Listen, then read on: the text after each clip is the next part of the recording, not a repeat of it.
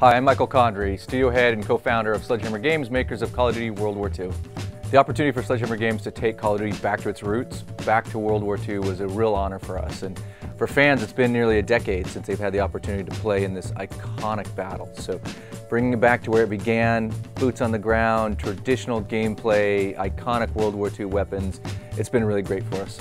The return to boots on the ground was really a great opportunity. I mean, we were listening to fans loud and clear. It was time to go back to that strategic gameplay that made this franchise great.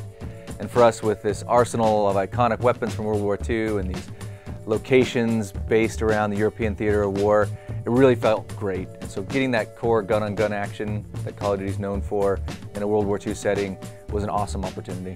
It's been really incredible for us to go to World War II.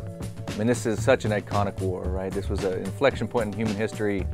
Nearly every nation on the planet was involved. And really, it's been 20 years since Saving Private Ryan, 10 years since Call of Duty's been there. So for us to put our stamp on that, to take the franchise back to this great moment in human history where the really the greatest generation fought on a global cause was really great. And so for us, anchoring in that time frame and the creativity to tell the story that honors the sacrifice, the camaraderie of the greatest generation in, in a really, truly great cause of good versus evil. Special game for us. Very personal, very profound. So elaborate. Call of Duty World War II really has something for everybody. From our world-class multiplayer and all the innovations there, Nazi zombies, and of course, the campaign, the story mode. And this for us was really special and important.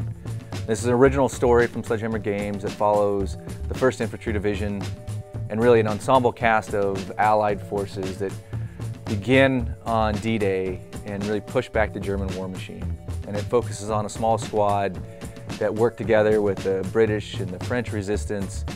It's about camaraderie, it's about sacrifice, it's about brotherhood. Um, it's moving and it's touching and it was really important to us and we put a lot of time and energy into the campaign.